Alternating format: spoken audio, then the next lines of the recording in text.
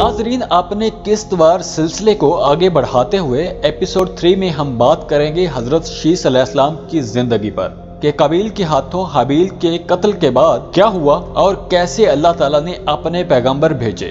Video میں آگے بڑھنے سے پہلے ویڈیو کو لائک کریں، چینل کو سبسکرائب کریں اور بیل آئیکن پر لازمی کلک کریں۔ حابیل کے قتل کے بعد حضرت آدم علیہ السلام اور اما ہوا بہت اداس رہا کرتے تھے اور بیٹے کو یاد کر کے گھنٹوں آنسو بہایا کرتے تھے۔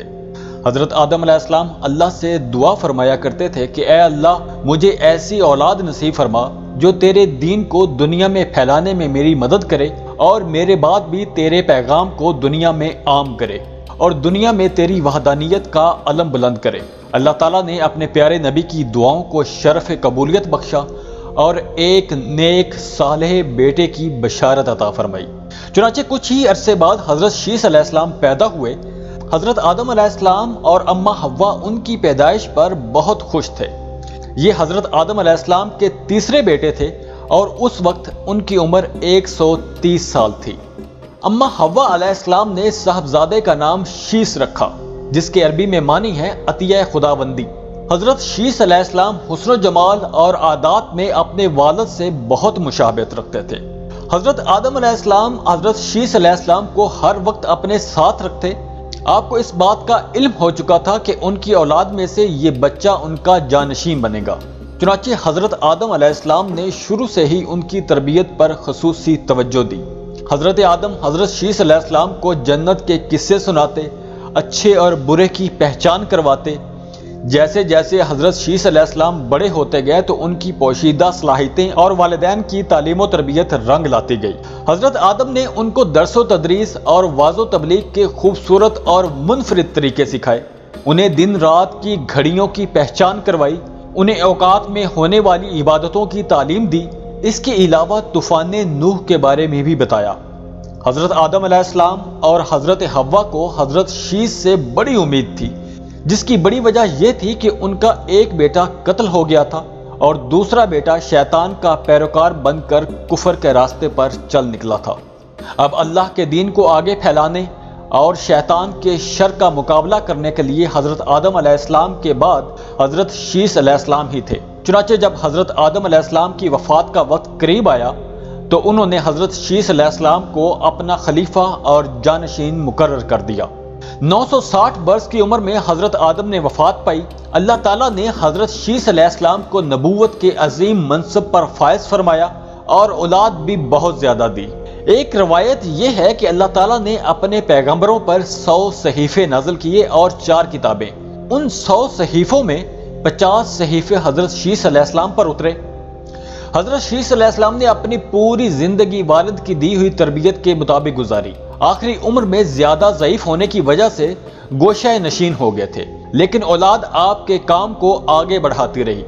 حضرت شیس علیہ السلام اپنے بھائی قابیل کی اولاد کے کفر شرک میں مبتلا ہونے اور شیطان کا علاقار بنے رہنے کی وجہ سے بڑے فکر مند رہتے تھے اور انہیں رائے راست پر لانے کی کوششوں میں بھی لگے رہتے تھے۔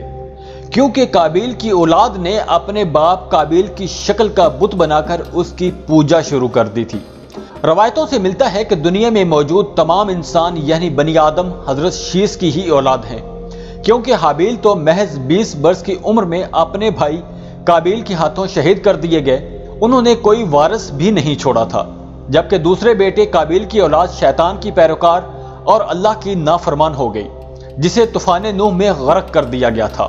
مسلمانوں کی طرح یہودی اور عیسائی بھی حضرت شیس علیہ السلام کو حضرت آدم اور اما ہوا کا تیسرا بیٹا، نبی اور ان کا جانشین تسلیم کرتے ہیں۔ جبکہ وہ بھی اس بات کے قائل ہیں کہ موجودہ تمام انسان حضرت شیس علیہ السلام کی اولاد ہیں۔ حضرت آدم علیہ السلام کے انتقال کا وقت قریب آیا تو انہوں نے بیٹے حضرت شیس علیہ السلام کو اپنے قریب بلایا اور نصیحت کی کہ اے میرے سعادت مند برخوردار، تم میرے جانشین بنو گے۔ چنانچہ تم تقوی اختیار کرو اور جب بھی اللہ کا ذکر کرو تو اس کے ساتھ اس کے محبوب حضرت محمد مصطفیٰ صلی اللہ علیہ وآلہ وسلم کا نام ضرور لیا کرو۔ کیونکہ میں نے ان کا نام عرش پر اس وقت لکھا دیکھا جب میں روح اور مٹی کی درمیانی حالت میں تھا۔ پھر میں نے تمام آسمانوں کا چکر لگایا، میرے رب نے مجھے جنت میں رکھا، تو میں جنت میں کوئی محل، کوئی بالا خانہ کوئی دریچہ ایسا نہیں دیکھا جس پر اس میں محمد تحریر نہ ہو۔ لہذا تم بھی کثرت کے ساتھ ان کا ذکر کیا کرو، کیونکہ فرشتے بھی ہر وقت ان کا ذکر کرتے رہتے ہیں۔ جب حضرت شیس علیہ السلام کی وفات کا وقت قریب آیا، تو انہوں نے بھی اپنے بیٹے کو معاملات سپرد کر دیے۔ انوش کے بعد ان کا ولی عہد کنین بنا، اس کے بعد کنین کا بیٹا ماہیل ان کا جانشین بنا، اور ایرانی اجمی لوگ ان کے بارے میں خیال یہی رکھتے ہیں کہ یہ سات ولایتوں کے بادشاہ بنے، اور یہ پہلے شخص ہیں جنہوں نے جنگلات کا صفایا کر کے شہروں اور قلوں کی بنیاد رکھی، اور انہوں نے ہی شہر بابل اور شہر سموس آباد کیے۔ ابلیس اور اس کے لشکریوں، جنوں وغیرہ کو مار مار کر انسانی آبادی سے بھگا کر ویرانوں اور گھاٹیوں میں دھکیل دیا۔ ان کی بادشاہی چالیس سال تک رہی۔ جب وفات کا وقت قریب آیا تو انہوں نے اپنے بیٹے اخنوخ کو اپنا جانشین مقرر کیا اور انہیں مختلف کاموں کے حوالے سے وسیعت کی۔ مشہور یہی ہے کہ اخنوخ حضرت ادریس علیہ السلام تھے، جنہیں حضرت شیس علیہ السلام کے بعد اللہ نے نبوت سے سرفراز کیا۔ حضرت شیس علیہ السلام کی وفات نو سو بارہ سال کی عمر میں ہوئی اور ان سے منصوب مزارات تین مختلف مقامات پر ہیں۔ پہلا غزہ، عراق کے شہر موسل تیسرا بھارت کا شہر ایودھیا میں۔ ان تینوں میں سے کس میں حضرت شیس علیہ السلام مدفون ہیں، یہ اللہ ہی بہتر جانتا ہے۔ موسل میں قائم مزار کو حالیہ عراق جنگ کے دوران شدید نقصان بھی پہنچا ہے۔ بعض روایات کے مطابق حضرت شیس علیہ السلام کا مکہ مکرمہ میں انتقال ہوا۔ اور وہ وہیں سپرد خاک کیے گئے۔ جبکہ ایک خیال یہ بھی ہے کہ حضرت شیس علیہ السلام کا مزار لبنان کے ایک گاؤں شیس نبی میں ہے، جہاں ان کے نام سے ایک مسجد بھی قائم ہے۔